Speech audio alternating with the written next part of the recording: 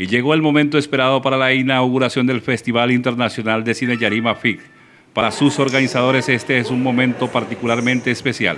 Vengo gestando esta idea desde hace cuatro años más o menos, eh, siempre con la idea de empezar, de que acá Barranca Bermeja era el escenario, pues mira que no soy de acá, yo soy de Zapatoca, orgullosamente Zapatoca, y siempre me decían, bueno, pero ¿por qué no en Zapatoca? Pero yo tenía como la idea de que el primer Festival Internacional de Cine que yo iba a organizar iba a ser en esta tierra maravillosa, de gente amable, de gente alegre, de gente pujante, y bueno, así se logró por fin inaugurado el festival. Este irá ahora a las comunas de la ciudad y también a cuatro de sus corregimientos. Acá lo que, lo que queremos hacer es mostrar como toda la programación que hay dentro del festival, hablarles a las personas de que asistan a las películas, a los estudiantes que están en formación, que son 230 en los seis talleres especializados que tenemos, pues que asistan de manera puntual si quieren o desean obtener los certificados. Nosotros de hecho les hemos resaltado bastante eso.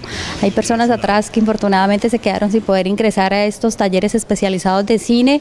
Eh, pero bueno, ya habrá más oportunidades para todos. El acto inaugural de este Festival de Cine ha tenido como escenario la Casa del Libro Total de Barranca Bermeja.